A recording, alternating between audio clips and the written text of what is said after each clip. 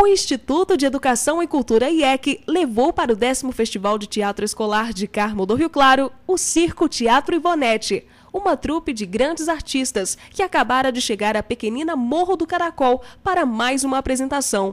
O texto, que tem como autor Paulo César Lima, traz importantes nomes do mundo artístico, como o triste palhaço Celestino, a atriz e dona do circo Ivonete Pellegrini e o ator dramático Gabriel Ângelo.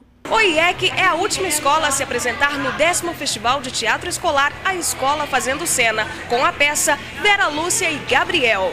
O que eles não sabem é que não será apenas mais uma apresentação. Esse picadeiro mudará a vida de todos da companhia e também a história de outros caracolitanos.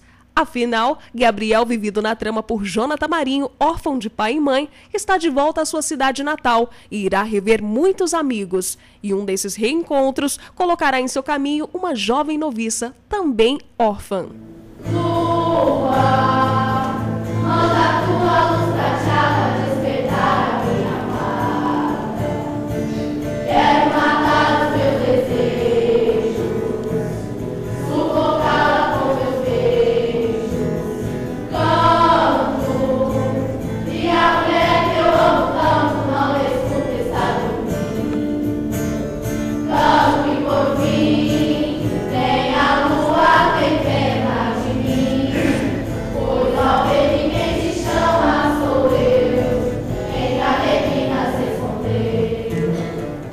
Vera Lúcia encantada pelo Gabriel e vice-versa. Até aí, tudo bem, mas existia uma pessoa que não estava contente com o rumo que a história seguia.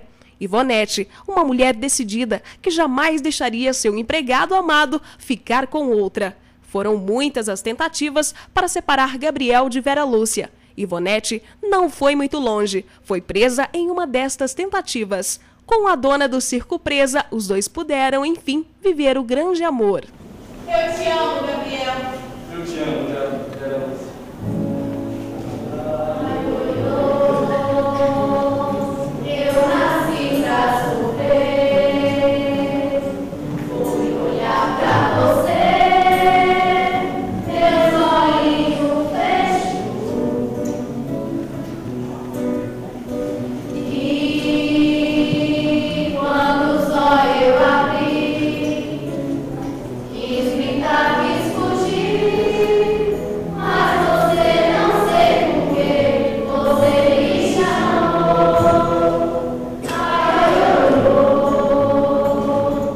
Diretora do IEC nos conta de quem partiu a ideia de resgatar um pouco da história de nossa Carmo do Rio Claro.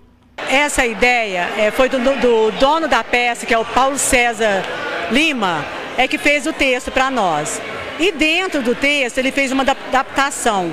É um, um teatro dentro de um teatro. É o seguinte, aí conta a história do circo, foi ensinado dentro de um circo, a história de Carmo do Rio Claro, onde envolve é, as Irmãs da Providência, para muita gente que não conheceu, pessoal mais novo, às vezes teve uma certa dificuldade de entender. Mas o pessoal mais velho tem certeza que vibrou com a peça.